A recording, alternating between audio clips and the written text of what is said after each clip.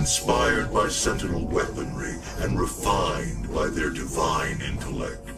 Its destructive potential is staggering.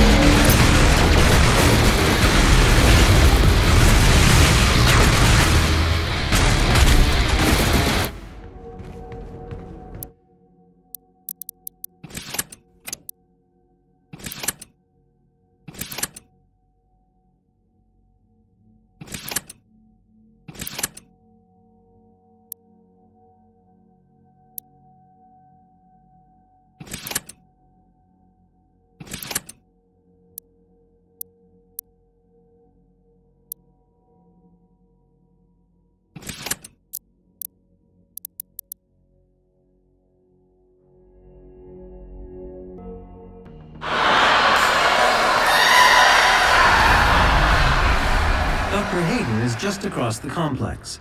This industrial campus was once the headquarters of the Resistance. Good news for the faithful.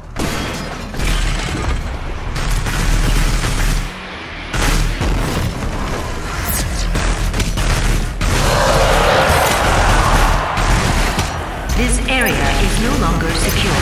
Evacuation protocol is in effect.